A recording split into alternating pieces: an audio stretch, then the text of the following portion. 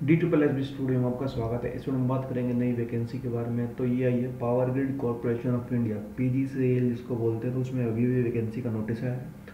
तो ये recruitment of assistant engineer training तो इसमें कंप्यूटर साइंस इलेक्ट्रिकल सिविल और electrical and electronics and communication branch की वैकेंसीज है।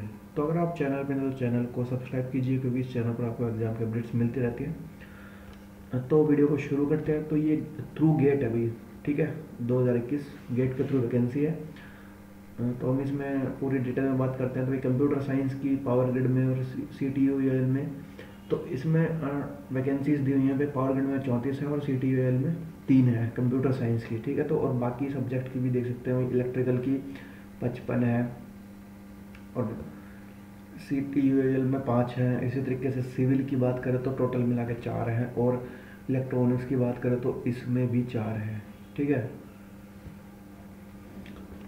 तो इस तरीके से टोटल 105 वैकेंसी है। तो एलिजिबिलिटी की बात करें तो इसमें गेट पेपर तो इन्होंने मेंशन किया हुआ है, जो पेपर कोड होता है सी एस डबल ए सी ई और ई सी तो ये है। एज लिमिट की बात की जाए तो 28 एट ईयर्स एज ऑन इकतीस बारह दो हज़ार इक्कीस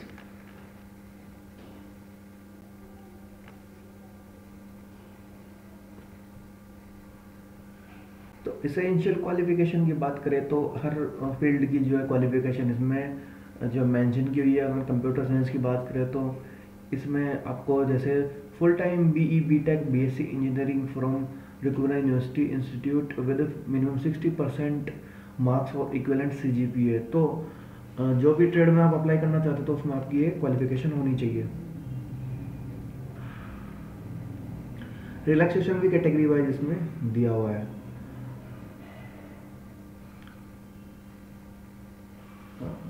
तो इसमें कट ऑफ़ देख सकते हैं candidate must qualify the in personal interview in order to be consider for empanelment तो इसमें जो general category including E W S के लिए फोर्टी परसेंट है और रिज़र्व कैटेगरीज के लिए थर्टी परसेंट है. फिर group discuss will not have any qualifying marks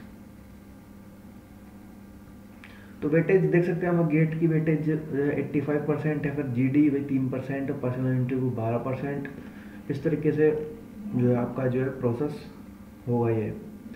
तो जो भी एलिजिबल और इंटरेस्टेड कैंडिडेट्स हैं, वो इस फॉर्म को अप्लाई कर सकते हैं।